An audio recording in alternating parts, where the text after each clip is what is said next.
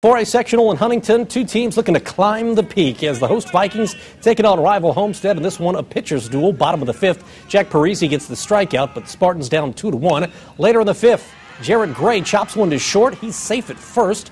Ian McCutcheon, though, trying to score, and McCutcheon is out at the dish. Still 2 1 at the top of the seventh. Ethan Frolk on the mound, and he mows him down. The Vikings pitching staff allows just one run against Homestead as Huntington North, your sectional champs, 2 1 the final.